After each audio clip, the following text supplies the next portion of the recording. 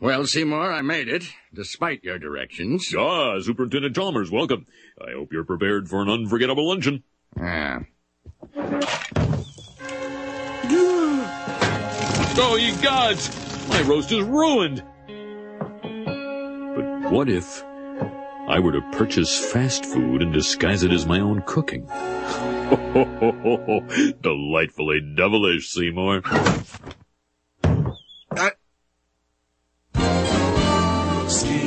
Skinner with his crazy explanations. The superintendent's gonna need his medication. When he hears Skinner's lame exaggerations, there'll be trouble in town tonight. Seymour!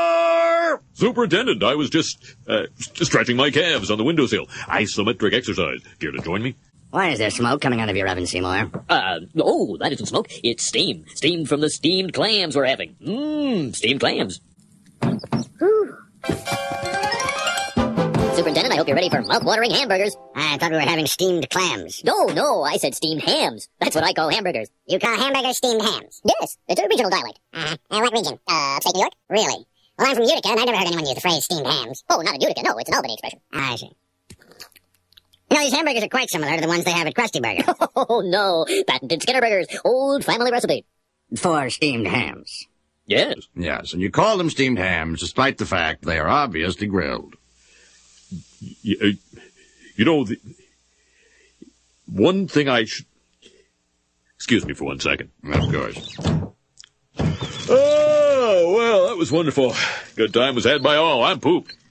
Yes, I should be. Good Lord, what is happening in there? Aurora Borealis? Uh, Aurora Borealis.